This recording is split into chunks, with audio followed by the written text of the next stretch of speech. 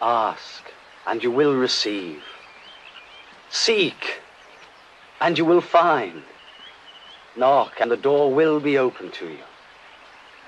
For everyone who asks will receive, and he who seeks will find, and the door will be open to anyone who knocks.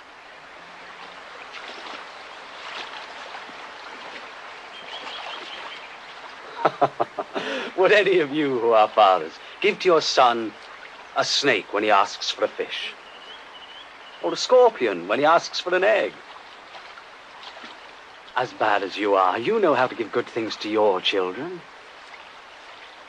How much more, then, will the Heavenly Father give the Holy Spirit to those who ask Him? I tell you this take no thought in your life for what you shall eat nor for your body what you shall wear. For life is more than food, and the body more than clothing. Consider the ravens. They neither sow nor reap, have neither storehouse nor barn, yet God feeds them. Of how much more worth are you than the birds?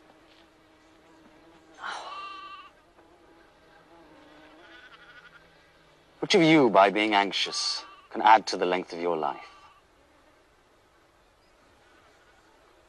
You cannot do such a small thing. Why do you worry about the rest? Consider the lilies, how they grow. They neither toil nor spin. Yet Solomon in all his glory was not arrayed like a single one of them.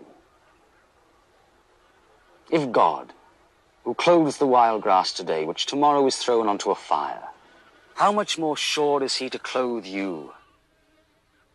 O you of little faith. Make our faith greater.